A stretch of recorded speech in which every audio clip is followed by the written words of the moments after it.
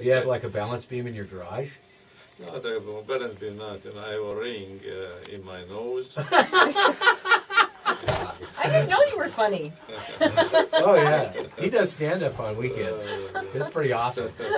Okay, and then uh, are you going to go to the next Olympic Games? You'll you'll be there, won't you? Definitely, definitely. Uh, that's going to be a very important one, and uh, I'm not sure, you know, that might be my last Olympic Games. So after I have 10 in behind me, that would be the 11th.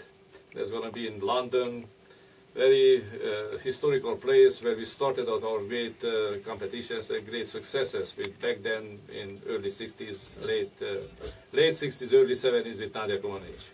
So that's going to be nice to be there and hopefully we might have again a, a tremendous success what we are expecting from this young generation of great kids.